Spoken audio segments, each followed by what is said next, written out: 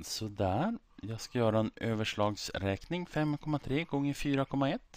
När jag lärde mig matte någon gång för länge sedan så fick jag lära mig att när man gör multiplikation så ska man försöka höja den ena faktorn lika mycket som man sänker den andra faktorn för att produkten ska bli lika stor. Men om man bortser ifrån det och så tänker man bara heltalen här. 5,3 gånger 4,1 är ungefär detsamma som 5 gånger 4 så får man 20 här.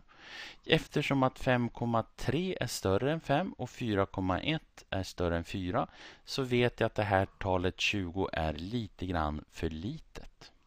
Ett annat sätt att räkna det här på det är att skriva 5,3 gånger 4,1. Sådär.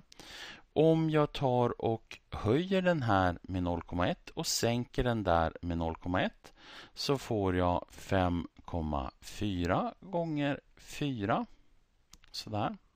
Och då är det så att 0,4 gånger 4 det är detsamma som 1,6. Vi kan skriva det här under.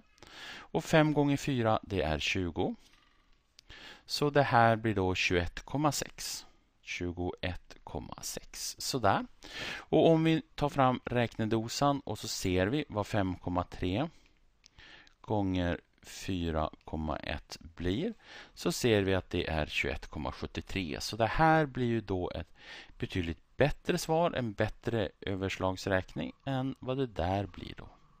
Men det här då kräver då att man höjer den ena och sänker den andra ungefär lika mycket.